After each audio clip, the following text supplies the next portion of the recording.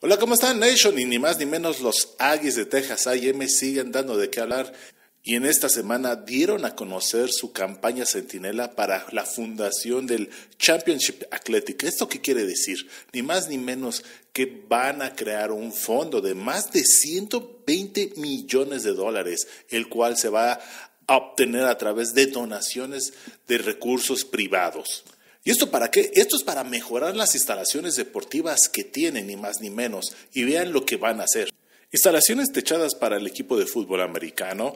También van a ampliar del lado sur del estadio 31 nuevos suites para Kai Field Stadium. Van a crear dos centros nuevos, uno académico y uno de wellness para los muchachos de tanto de fútbol americano y todos los demás deportes. También van a crear unas instalaciones bajo techo para el, el área de track and field y bueno, Nation, esto es lo que va a hacer Texas A&M. ¿Cómo lo ven? ¿Les gusta o no?